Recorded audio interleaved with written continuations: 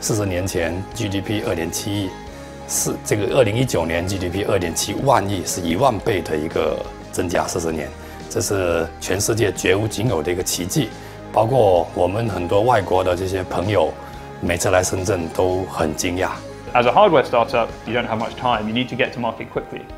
And so the best place to do that is, without a doubt, Shenzhen. 就深圳四十年的这样的一个发展历程，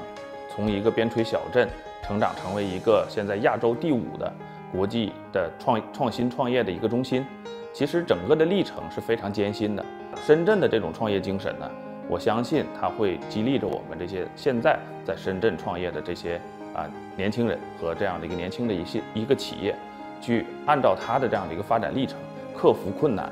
就是面对任何困难，敢抢敢做敢拼。